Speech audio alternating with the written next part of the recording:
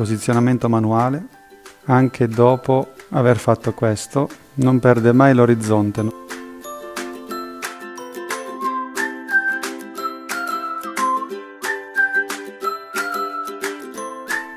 Se viene urtata in un lasso di tempo inferiore ritorna a posto.